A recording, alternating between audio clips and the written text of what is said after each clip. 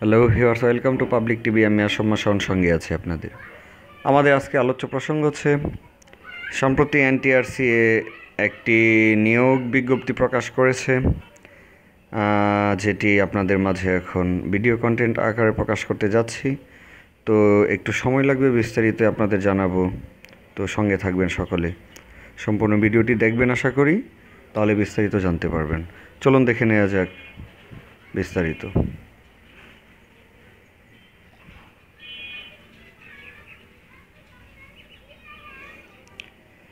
নিয়োগ বিজ্ঞপ্তি প্রকাশ হয়েছে দুই মে দুই হাজার উনিশ খ্রিস্টাব্দে। এখানে আপনারা দেখতে পাচ্ছেন স্মারক নাম্বার।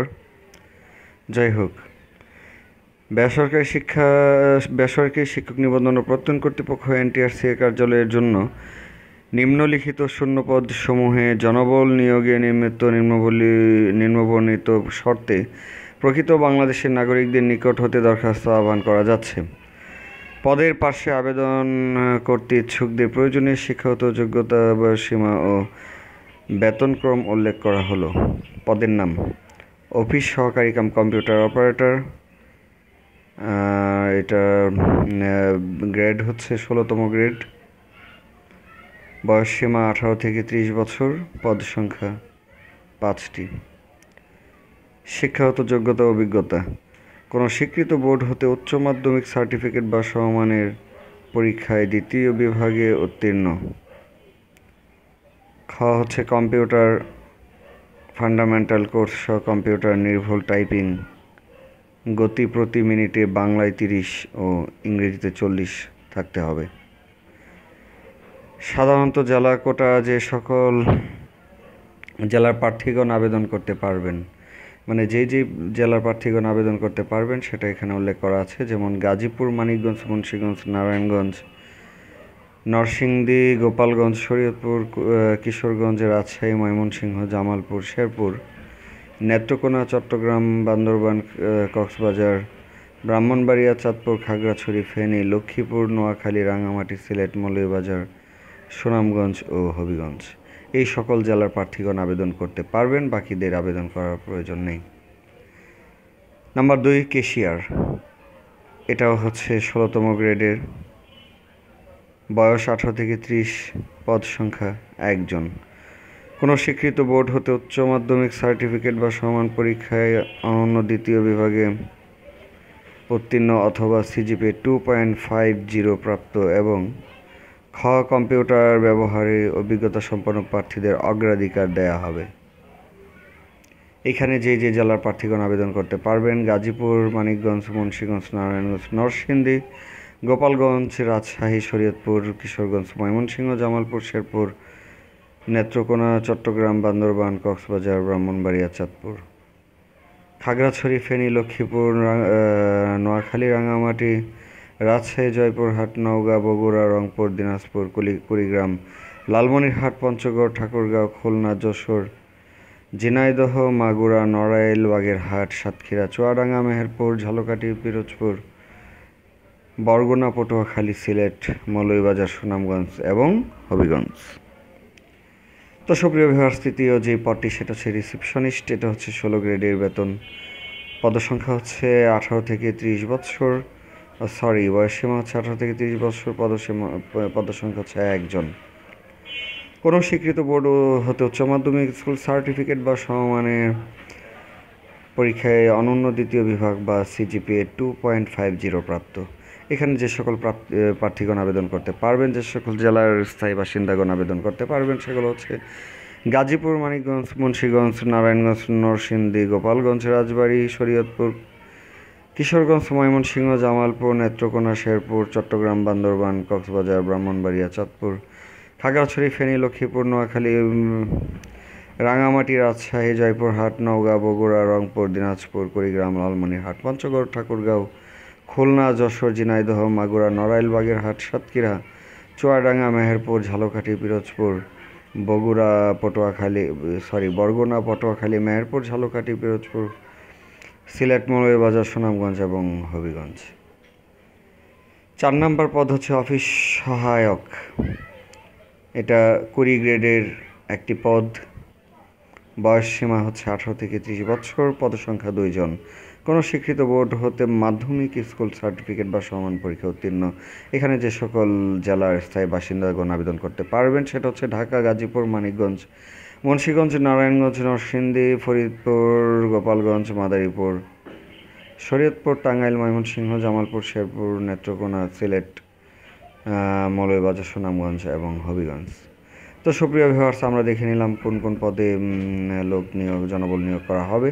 তো এখন আমরা জানব যে নিম্নগণিত শর্তাবলীর আবেদন ফর্ম পূরণ এবং পরীক্ষা অংশগ্রহণের ক্ষেত্রে অবশ্যই অনুসরণ করতে হবে। অর্থাৎ যেগুলো অনুসরণ না করলে আপনার নিয়োগটি বাতিল বলে গণ্য হবে। এক নম্বর হচ্ছে যে পয়লা মে থেকে পয়লা মে দু হাজার উনিশ তারিখ প্রার্থী বয়স সীমা বিজ্ঞপ্তি তিন নং কলামের বর্ণনা অনুযায়ী হতে হবে। বিজ্ঞপ্তি তিন নং কলামে লেখা আছে যে নিয়োগ ক্ষেত্রে সরকারি নিয়োগ ক্ষেত্রে সরকারের বিদ্যমান বিধিবিধান অর্থাৎ যে যে বয়সটা ত্রিশ, আঠারো থেকে ত্রিশ বছরের মধ্যে হতে হবে, এটা হচ্ছে সরকারের একটা বিধিবিধান। যাই হোক, দুই নম্বর হচ্ছে আচ্ছা। তবে মুক্তিযোদ্ধা শহীদ মুক্তিযোদ্ধা পুত্রকন্যা এবং শারীরিক প্রতি- প্রতিবন্ধীদের ক্ষেত্রে এই বয়স সীমা বত্রিশ বছর। তো সাধারণ মানুষ এক থেকে তিরিশ বছরে আবেদন করতে পারবে এবং মুক্তিযোদ্ধাদের ক্ষেত্রে বত্রিশ বছর পর্যন্ত শিথিলযোগ্য।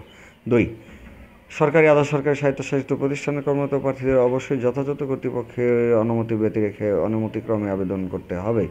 অর্থাৎ যারা সরকারি, বেসরকারি, আধা সরকারি স্বায়ত্তশাসিত সকল প্রতিষ্ঠানের কর্মরত প্রার্থীদের তাদের নির্দিষ্ট কর্মকর্তা বরাবর সেটা অনুমতি নিয়ে তারপর অ্যাপ্লিকেশন করতে হবে। তিন, নিয়োগের ক্ষেত্রে সরকারের বিদ্যমান বিধি বিধান এবং পরবর্তীতে এবং পরবর্তী সংশ্লিষ্ট বিধিবিধানে কোনো সংশোধন হলে তা অনুসরণ করতে হবে। চার, লিখিত ও মৌখিক পরীক্ষার ব্যবহারিক পরীক্ষা অংশগ্রহণের জন্য কোনো প্রকার টিএ বা ডিএ প্রদান করা হবে না। পাঁচ মৌখিক পরীক্ষার সময় জাতীয় পরিচয়পত্র, সকল সনদপত্রের মূল কপি প্রদর্শন করতে হবে। আচ্ছা এফোর্স অ্যাপ্লিকেশান ফর্ম এটা ডাউনলোড করে নিতে, নিয়ে আসতে হবে। তারপর যা যা লাগবে আমি অতি সংক্ষেপে বলে দিই, এটা অনেক বড় একটা বিজ্ঞপ্তি। স্থায়ী বাসিন্দাদের কী করতে হবে? ইউনিয়ন পরিষদের বা সিটি কর্পোরেশনের কাছ থেকে নাগরিকত্ব নিয়ে আসতে হবে বা পৌরসভার মেয়রের কাছ থেকে বা ইউনিয়নের বা কি ওয়ার্ডের কাউন্সিলের কাছ থেকে সত্যায়িত আলোকলিপি নিয়ে আসতে হবে। তারপর অতীব জরুরি যে বিষয়গুলো হচ্ছে, লিখিত প্রার্থীরা, লিখিত উত্তীর্ণ প্রার্থীরা মূলত মৌখিক পরীক্ষা দেবে। এটি স্বাভাবিক ব্যাপার, এটা আসলে উল্লেখ না করলেও চলে। যাই হোক, তারপর হচ্ছে মানে নিয়োগ বিজ্ঞপ্তিটা আপনার অনলাইনের মাধ্যমে পূরণ করতে হবে। ছয় মে দুই হাজার উনিশ সাল এগারোটা থেকে অলরেডি শুরু হয়ে গেছে। এটা শেষ তারিখ হচ্ছে সাতাইশ মে দুই হাজার উনিশ বিকাল পাঁচ ঘটিকা পর্যন্ত। আমি আবার বলছি অ্যাপ্লিকেশনটি সাবমিট করতে হবে।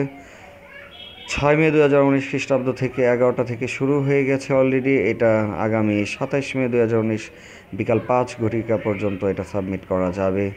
এখানে সাবমিট করার সাথে সাথে বাহাত্তর ঘণ্টার মধ্যে আপনার মোবাইলে একটি এস এম এস চলে আসবে। এবং এই অ্যাপ্লিকেশন ফর্মে আপনার বসাতে হবে যেটা ছবি, রঙিন ছবি পাসপোর্ট সাইজের এটা দৈর্ঘ্য দৈর্ঘ্য হবে তিনশো গুণন প্রস্থ হবে তিনশো মেগাপিক্সেল এই মেগাপিক্সেলে আপনার ছবিটা পাঠাতে হবে এবং স্বাক্ষর হবে তিনশো মেগা দৈর্ঘ্য তিনশো গুণ আশি মেগাপিক্সেল আচ্ছা যাক, যাই হোক, তো এখানে এটা আপলোড করতে হবে ছবি এবং তা অবশ্যই ছবিটা একশো কিলোবাইটের উপরে যাবে না এবং স্বাক্ষরটা ষাট কিলোবাইটের উপরে যেতে পারবে না। এটার সাইজ হবে একশো এবং ষাটের নিচে। তারপর যেটা গুরুত্বপূর্ণ বিষয় সেটা হচ্ছে যে আপনি যে অনলাইনে অ্যাপ্লিকেশন করেছেন, সেই অ্যাপ্লিকেশন কপিটা আপনার অবশ্যই ডাউনলোড করে বা প্রিন্ট করে রেখে দিতে হবে।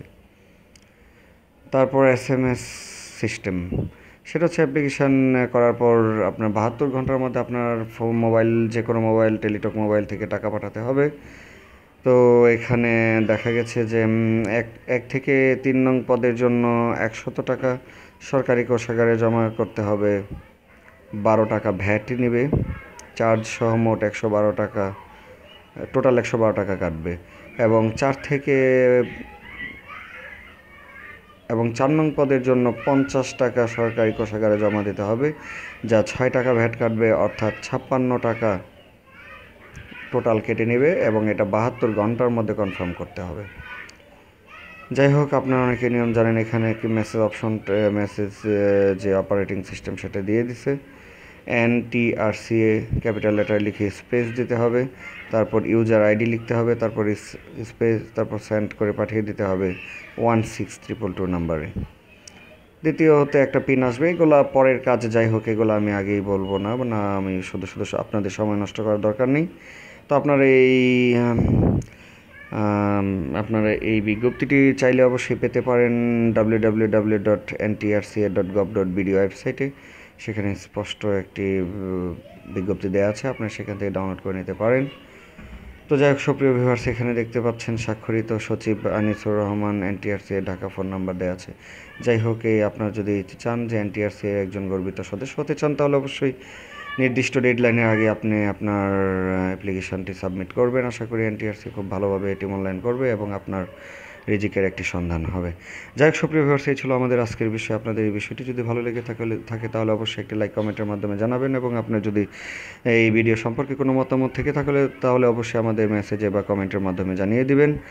এবং আপনি যদি আমাদের চ্যানেলটিতে আজই নতুন হয়ে থাকেন, তাহলে অবশ্যই আপনি একটি সাবস্ক্রাইব আশা করি, এবং আপনি যদি ইতিমধ্যেই আমাদের চ্যানেলটি সাবস্ক্রাইব করে থাকেন, তাহলে আপনাকে অসংখ্য অসংখ্য অসংখ্য ধন্যবাদ। এবং আমাদের পরবর্তী নিত্য নতুন সকল তথ্য পেতে আমাদের এই চ্যানেলটির সঙ্গে থাকুন। পরবর্তী ভিডিওর অপেক্ষায় আবারও আপনাদের মাঝে উপস্থাপন উপস্থিত হব এই প্রত্যাশা আমি সমস্যা আসসালামু আলাইকুম।